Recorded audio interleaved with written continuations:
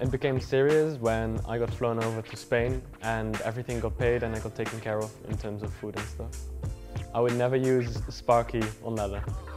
While Matt brings a lot of pizza and Flobby brings a lot of golem, I prefer Miner. Uh, I think I would pick Dark Prince. Uh, in SK Gaming, it's, uh, it's an honor just because I've always rooted for the Counter-Strike team of SK.